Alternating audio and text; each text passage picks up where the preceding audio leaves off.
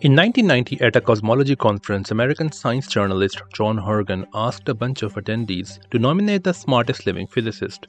The attendees included people like Stephen Hawking, Nobel laureate Jim Peebles, Alan Guth, and Andre Linde, who are very well respected cosmologists. The winner of this poll was a physicist named Edward Witten, and some people even considered him to be in the same league as Einstein and Newton. On top of that, in popular media, we hear claims like this about him Ed Witten is a very special person in the field. He clearly has a grasp, particularly of the underlying mathematical principles, which is far greater than most other people. Uh, one single individual who is the most dominant mind on planet Earth at the moment. Well, you know, we all think we're very smart, and he's so much smarter than the rest of us. So, who is this physicist and what work did he do to receive this kind of praise from physicists? I am a theoretical physicist, and in this video, we will answer this question. Some parts of this video can be a bit technical, but I will try to simplify things as much as I can. Yeah, just so it's clear, if, if like most of us are here, Ed is up here. But I think it's such a natural consequence of a theory that is only unified in higher dimensions. The couplings of the gluon to itself involve commutors of generators of the Lie algebra. I'm more worried about not being able to understand properly the things that aren't too abstract.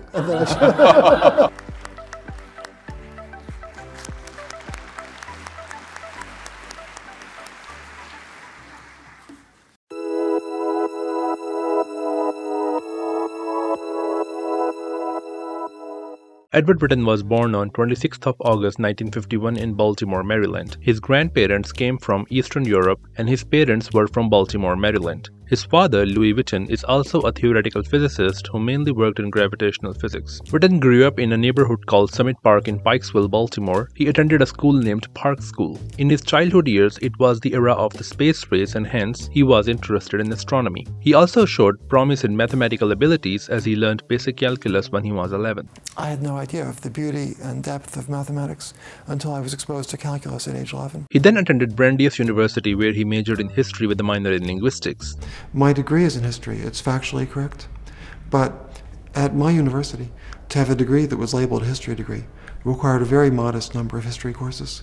So what I actually had was a wide smattering of all kinds of courses. Actually, the subject I was most intensely interested in as an undergraduate, at least for a while, was linguistics. Later, in an interview, when he was asked that why he chose to do a bachelor's in history, he said that sometimes the choices made by young people are inscrutable. After his bachelor's degree, he dabbled in different professions to figure out the profession that suited him best. For some time, he wanted to be a journalist and even wrote some articles. For example, this article in the New Republic titled, Are You Listening, D.H. Lawrence? In 1972, he also worked for George McGovern's primary presidential campaign in Massachusetts, but later realized that this wasn't for him. On top of that, he attended University of Michigan as an economics graduate student but dropped out after one semester. He then started as a graduate student of applied mathematics at Princeton University, but at the end of the first year there, he switched to theoretical physics and started his PhD under David Gross. At that time, David Gross published his paper with his student Frank Wilczek, which established the fact that the force between the elementary particles called quarks decreases in strength as they come closer and closer. This phenomenon is called asymptotic freedom, and for this discovery, David Gross was awarded the 2004 Nobel Prize in Physics along with his student Frank Wilczek and another physicist named Hugh Politzer, who did similar work to Gross and Wilczek. Did you expect um, this one? Uh, to some extent. Witten did quite a lot of studies in his PhD years to learn what a physics PhD is supposed to know. In an interview, he says that he learned general relativity in a very exciting period of 10 days from Steven Weinberg's book. He also did calculations that are relevant for probing particles like protons and neutrons. These calculations are called deep inelastic scattering calculations. A calculation that he did was a deep inelastic calculation involving scattering between two photons, but the experiments were not up to the mark to test this calculation at that time. This test was conducted later. In his PhD years, his advisor David Gross showed him a recently published paper by a physicist named Gerard 't Hooft. In this paper, 't Hooft established a connection between string theory and a special kind of theory called large N gauge theory. In an interview, Witten remarks that this paper was one of his earliest interactions with string theory. Witten completed his PhD in June 1976. His graduate committee included physicists like Sam Treiman and possibly Anthony Zee. I say possibly because Witten said that Anthony Zee was either in his thesis committee or in his generals committee. Witten wrote his thesis titled Some Problems in the Short Distance Analysis of Gauge Theories, which included three of his papers papers on various topics in gauge theories. However, his best works were yet to come. After his PhD, Steven Weinberg offered him a postdoc position at Harvard University and Witten accepted the offer. The visit to Harvard allowed him to interact with very respectable physicists like Steven Weinberg, Sidney Coleman, Sheldon Glashow, and Howard Georgi. In 1977, Witten also got a fellowship at Harvard, and there is an interesting story about this. For his fellowship, his PhD advisor David Gross wrote a recommendation letter, and it was a one line recommendation letter that said, He is smarter than me and probably smarter than you, so accept him. In a later interview, David Gross confirmed the story. I think I remember you uh, famously, and I think this is true, and I can't help but say this story because it relates to the Society of Fellows, where both you and I and Ed was a member. Is is I think you wrote to them uh, a, a, single line recommendation, didn't you? Say something like, "This guy is smarter than me, and he's smarter than you." Take him. Is that true? It, it's true. In 1977, he was invited by the famous mathematician Michael Atiyah to visit Oxford, and this became one of his many visits to Oxford. His collaboration with Michael Atiyah would later become very fruitful, which will contribute to his Fields Medal Award. During his Harvard years, he got offers from various universities, including Caltech, Berkeley, and the Institute of Advanced Study at Princeton. He accepted the offer at Princeton and became a faculty member there. There, he supervised various PhD students who went on to become big names in the field, including John Bagger, Cumrun Vafa, Eva Silverstein, Shamit Kachru, and Sergei Gukov.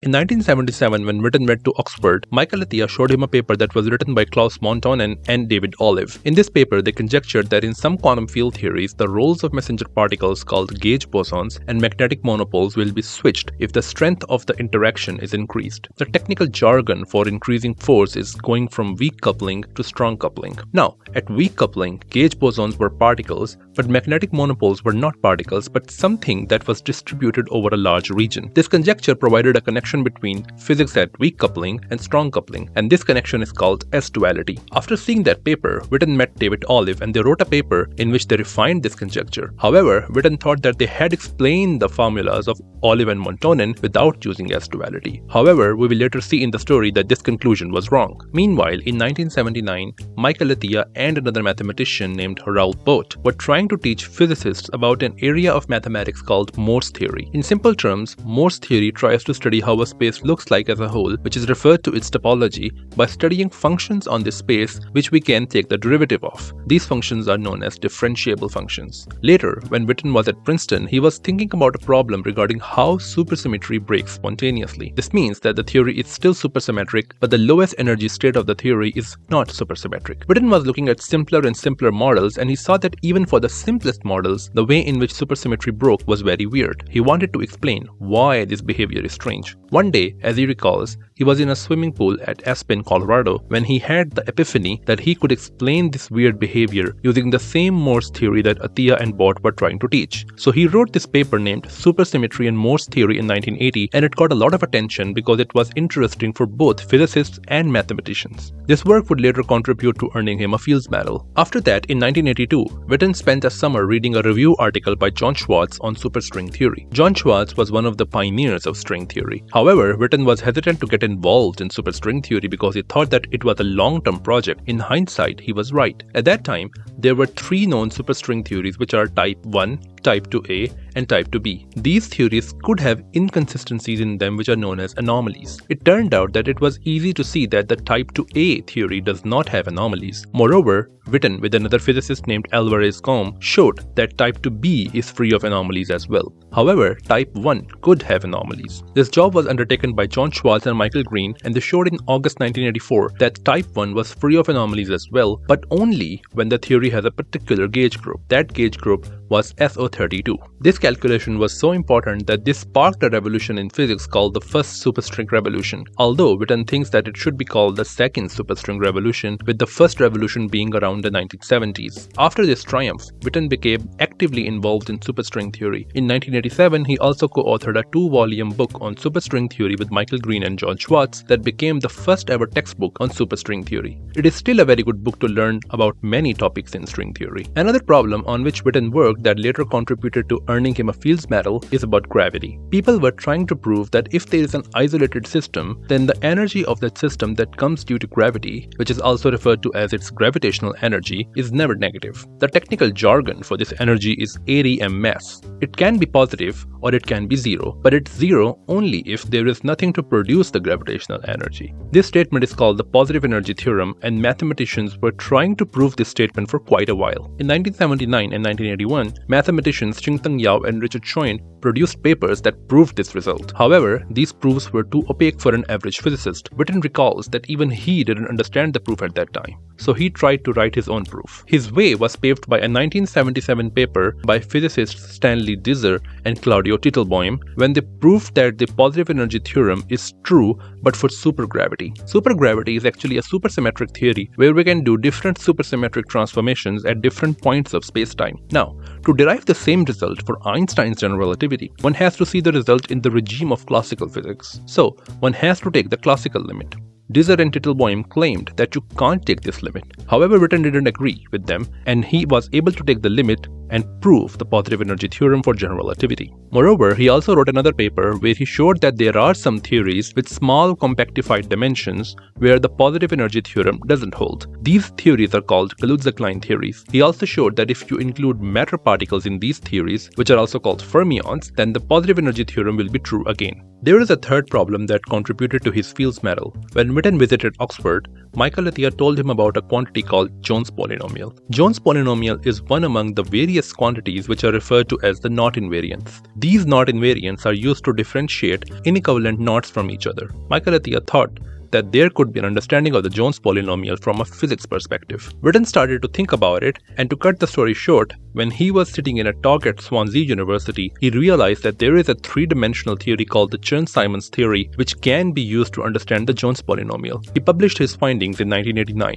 Witten was awarded the Fields Medal in 1990. During Witten's visit to Oxford, Michael Atiyah also told him about a program in mathematics called Langlands program. This program relates different areas of mathematics with each other. Witten started to work on developing an analogy between Langlands program and special kinds of theories in physics called conformal field theories. However, in 1991, Beilinson and Drinfeld published their work, and after the publication of this work, Witten stopped doing this work because, as he recalls, he thought that the analogy that he was drawing was too superficial. In the work of Beilinson and Drinfeld, they used a concept called geometric Hecke transformations. Witten wanted to understand this in the context of physics, but it was giving him a hard time. We will return to this story later to talk about how Witten solved this problem. As I mentioned before, when Witten wrote a paper with David Olive, he thought that they had explained the formulas without using S-duality. The reason is that Witten was very skeptical about the existence of such dualities between strong coupling and weak coupling behavior. However, in the early 90s, his views started to change. In the 1980s, people like Michael Duff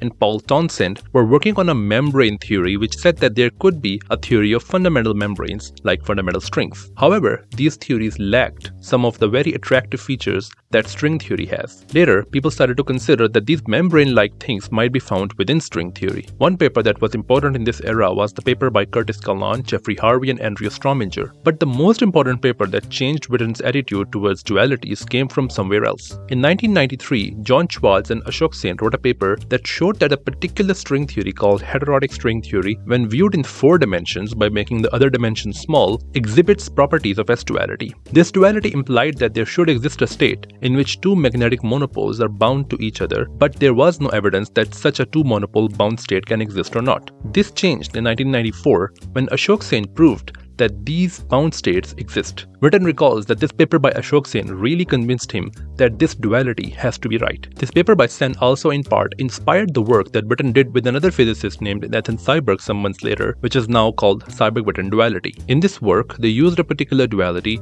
to guess the form of a particular supersymmetric theory at low energies. Later, they did another piece of work in which they talked about a supersymmetric version of the theory of strong interactions, which is also called QCD. Now, QCD is the theory that describes the physics inside a nucleus, and an unsolved problem in this theory is to predict that we can never see an individual quark. This problem is called quark confinement. Seiberg and Witten were able to show that quark confinement does happen in the supersymmetric version of QCD. At this time, there were five different versions of string theory. We have already mentioned three before, and there were two more versions of string theory that were discovered later. These versions are called heterotic SO32 and heterotic E8 times E8. Witten was trying to show that some of these string theories may be eliminated, so he tried to show that type 2A theory may have contradictions when we go to the strong coupling limit. However, when he was on a flight coming back from Canada, he realized that there was no inconsistency there and the strong coupling limit introduced an extra dimension into the theory. Now, getting this extra 11th dimension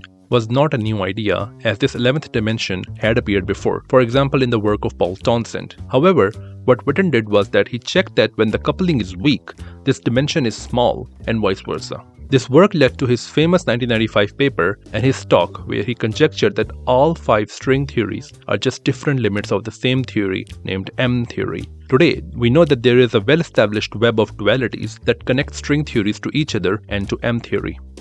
This work started the era which is referred to as the second superstring revolution. Later, Witten wrote a paper with Cumrun Vafa to test the exact test of Olive Montonen's duality at the strong coupling and for many people, this was the paper that was most convincing evidence for S-duality. Before the century ended, Witten wrote two more influential papers. In 1998, a physicist named Juan Maldacena wrote this paper where he showed that certain gravitational theories in a particular kind of spacetime named ADS spacetime can be described in terms of non-gravitational theories on the boundary of these spacetimes. These non-gravitational theories were conformal field theories or CFT for short. Therefore, this correspondence was called ADS-CFT correspondence. After this paper, Witten wrote a paper that made this correspondence more precise and worked out some methods to calculate certain quantities for CFTs on the boundary using the ADS spacetime. These methods included diagrams and therefore these diagrams are now known as Witten diagrams. Another paper that Witten wrote before the end of the century was with Nathan Seiberg. There are some indications in string theory that indicate that the coordinates of the spacetime might not commute with one another. It means that you can take the coordinates of two points and multiply them and the answer depends on the order in which these are multiplied. These spacetimes are called non-commutative spacetimes. This non-commutativity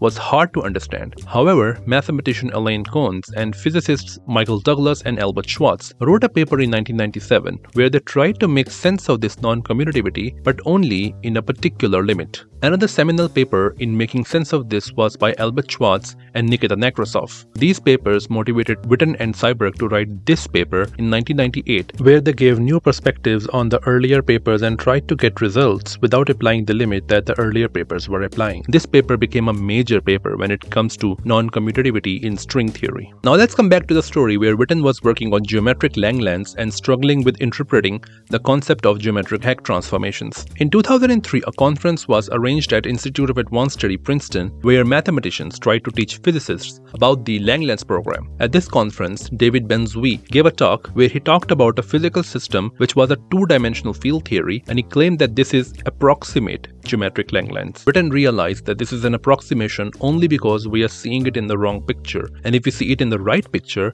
this won't be an approximation anymore but the exact geometric Langlands. The technical jargon for this picture is complex structure. However, Witten was still struggling with the problem of interpreting Hecke transformations in the context of physics. On one day, on a flight that he took from Seattle, he had this epiphany that geometric Hecke transformations correspond to what physicists call the 't Hooft operator. 't Hooft operators are found in gauge theories and they can be thought of as a line on which magnetic charge is distributed. After this realization, Witten collaborated with physicist Anton Kapustin, who already had done some work in this area, and produced a long paper that was more than 200 pages long. In this paper, they described geometric Langlands in terms of a modified version of a supersymmetric gauge theory. There are many other works of Witten that we can talk about, but I will just mention some of them briefly. With Peter Horava, Witten established a duality between M theory and heterotic string theory. This result is called the Theory. With physicists Julius Wess and Bruno Zumino, he developed the concept of special types of CFTs. These CFTs are called Wess-Zumino-Witten models or WZW models. These models have lots of applications in studying CFTs. There is something that we call open string field theory, and the simplest example of open string field theory was provided by Witten in 1991. There is a quantity called Khovanov homology which is again related to knots.